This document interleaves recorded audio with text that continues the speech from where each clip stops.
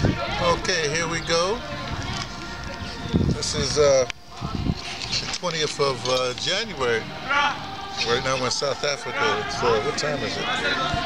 It's uh, three minutes to uh, seven, which makes it three minutes to uh, high noon in the United States of North America, where a new president's being sworn in in just a few moments. The uh, You vice president was just sworn in. Uh, uh, Pence, he is just uh, uh, sworn in by, uh, strange enough, not strange enough, uh, Clarence Thomas, Associate Justice of the Supreme Court.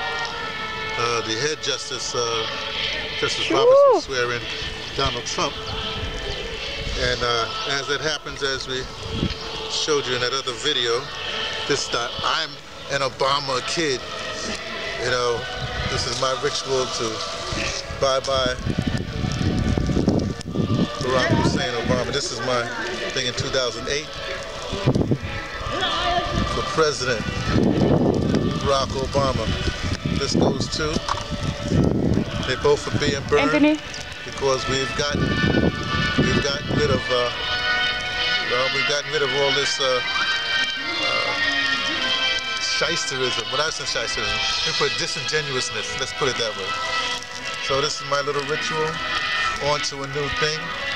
Uh, the new president. Me, uh, like I said before, I'm not paying any attention to these guys. I'm staying in my lane. They're politicians. They do what they do, and it's not my fight. You know, this is the Anglo-racist white supremacist fight. My fight, you know, was lost a long, long time ago. So, as they end with the song, and uh, Donald Trump's about to be sworn in, I back up from this fire that I put on to burn those buttons. I had been led astray for eight years. Well, not really, less, than eight years, because I knew what was going on. So that's it. Oh, Donald Trump is taking a drink of water, getting ready. His wife is in back, and Barack Obama's by them. Isn't the internet wonderful? You can see this any place in the world, even under the African sky. That's good. Okay, so that's happened. One more minute before they do the thing as the buttons burn, my little ritual. That's it, singing the praises of the United States of North America. Here is the Chief. Justice of the United States, John P. Roberts Jr. Justice Roberts, presidential oath of office. Chief Everyone, Justice. here's the presidential oath of office, asking everyone to please stand. I'll, I'll, I'll remain seated, seated if you don't mind. So here it goes. This is the moment. This is a historic occasion. This is where, you know, the rubber meets the road, as they say. So here we go. Well, in fact, let's not do this, brother. I, I got, I got to be official, so we know that Barack Obama's John going. Trump, do solemnly swear Donald John Trump. Hey, John is my middle name.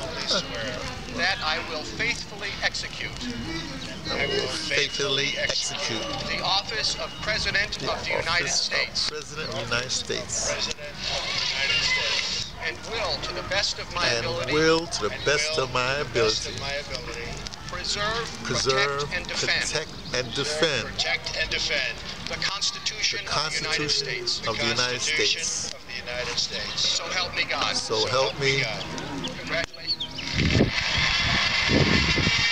The Creator. That's it. It's official. Mm. No more President Barack Obama. I guess you can call him President Cyril. Now it's President Trump. That's it for me. T from the Pattersons taking the train from, to Tibet, letting you know, well, what's now not only suspect, it's real.